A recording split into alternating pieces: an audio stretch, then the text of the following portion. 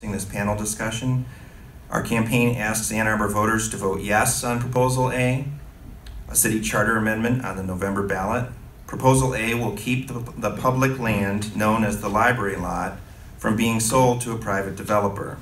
The land would remain publicly owned and retained for the purpose of creating an urban park and civic center. Tonight, we'll explain the need for this ballot proposal and our vision for what the community will achieve when voters approve it. Ann Arbor's downtown lacks public open space. It has not been a priority since Liberty Plaza first opened in 1977, over 40 years ago. You can see Liberty Plaza as the green rectangle in the middle of this map, which comes from the 2009 downtown plan. The other downtown parks are Hardscape, Sculpture Plaza, uh, which is a tiny little space, and the Farmers Market. Yes, that's uh, considered a park. The DDA also counts the sidewalks along Main Street as being park. In 2010, the downtown resident population was about 3,000 people. At that point, the amount of public open space was already inadequate. In the eight years since then, the downtown population has more than doubled and it continues to grow. Ann Arbor has 1,586 more downtown apartments and condos than it did in 2010, with 444 apartments and 25 condo units added in 2018 alone. This development trend shows no sign of slowing down. There is more construction already in the pipeline, and ideas for major projects on privately owned land are in active planning. Oops.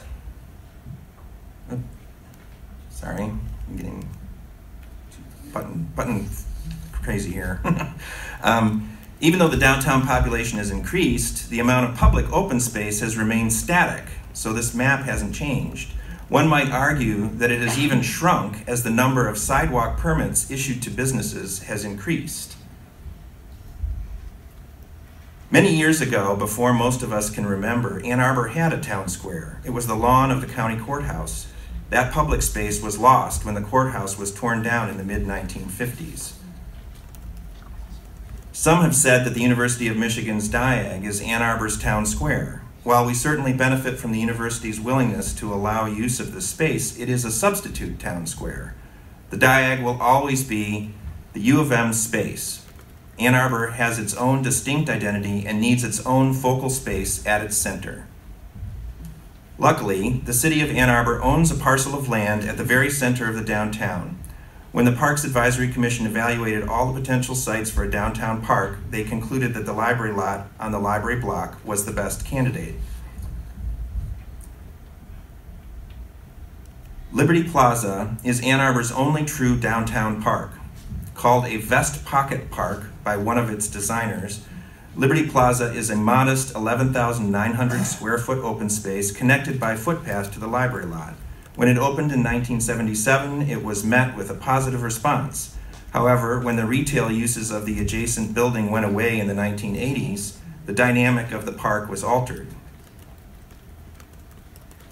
The situation at Liberty Plaza can be improved. One way is through activation in relationship to the rest of the block. As Alan Felt put it, we must not miss this opportunity to link development of the library lot to Liberty Plaza, thereby providing a pedestrian link across the entire block and generating foot traffic through both parks. Pedestrian linkages through the block will help both parks become active destinations from several directions. With more people passing by on a regular basis, some behaviors now disturbing public use of, of Liberty Plaza are likely to decline and less likely to appear in the newly created park on Fifth Avenue. In 1988, City Council created a subcommittee to plan redevelopment of the library block. The resulting 1991 report, referred to as the Luckenbach Study, envisioned a town square, green space, and pedestrian paths. The Calthorpe Downtown Development Report made this recommendation for the library lot. Pursue and design a town square or central civic area that incorporates an outdoor meeting space, an art center, underground parking, an indoor facility, and mixed-use buildings. Despite all these rounds of consensus building, there remained opposing views about the future of the library lot. On the one hand, there were those at City Hall and the DDA who wanted maximum development by a private owner with financial return. On the other hand, there were those who still held on to the idea of a central community space of some kind and opposed the privatization of public land.